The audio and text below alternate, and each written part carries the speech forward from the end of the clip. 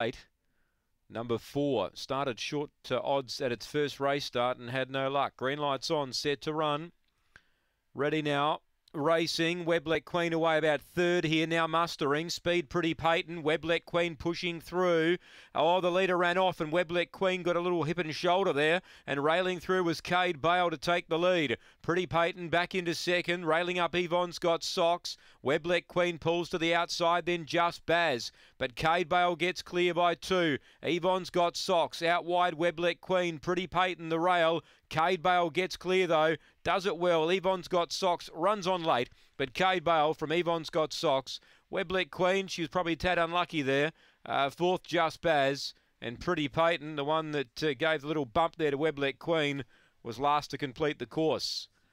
Time here in 30 and 50. Number two, Cade Bale. Lucky run through there for her was able to get underneath when that uh, interference happened on that first corner and gets clear. 30 and 50 the run. Eight Yvonne's got Sock second and four third Weblet Queen.